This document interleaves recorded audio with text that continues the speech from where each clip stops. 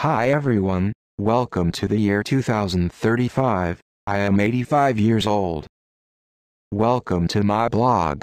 For you clever dicks, I am now in my mid 60s and work in construction every day. Follow me for the next 20 years and see how construction changes. When I first started, Apple was a fruit in a tree. Steve Jobs was just like me. Broke.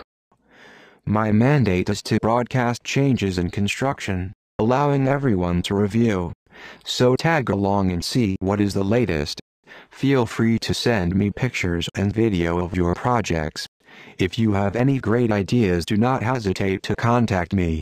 The year 2035 is fast approaching and I hope I am still a chick magnet. Bye, for now.